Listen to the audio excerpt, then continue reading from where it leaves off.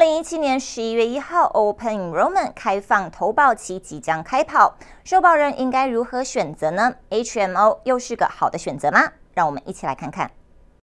许多人对 HMO 健康保险有许多误区。凯撒医疗机构荣获加州全保质量评级中唯一的五星健保机会，其中的秘诀是什么？and Gabriel Valley facilities, we provide pretty much one-stop shopping. So the members are able to get their tests, their x-rays, their procedures at our facility and not have to drive to all kinds of different locations to receive care. And in, at this time of year, we're providing our free flu shots and all of the free preventive services that come with their membership to our facility. So we're very uh, interested and welcoming to the the Chinese community, and we actually very much appreciate the opportunity to serve them.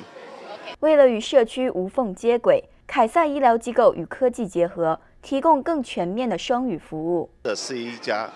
到目前为止加州唯一的一家保险公司能到五星级的评鉴的这么一家公司。那我们看到说，世界上面开始很注重华人市场，然后他们刚才的简报里面也讲过。呃，在南加州，这光是这个 facility 的附近就有四十五位，差不多占了他们十一个 percent 的医生是讲中文的，而他们的翻译的设备也是我们今天开了眼界，是这个我们在华平常社区里面没有看过的这些 facility。那华兴保险邀请六十名社区企业代表参观了凯撒医疗机构 Baldwin Park 服务中心，让大家对凯撒医疗集团各项服务及设施有更深刻的了解。每年的开放投保期即将来临，从现在开始就要做好资讯的收集，才能为自己选择一个保费合理又好的医疗服务。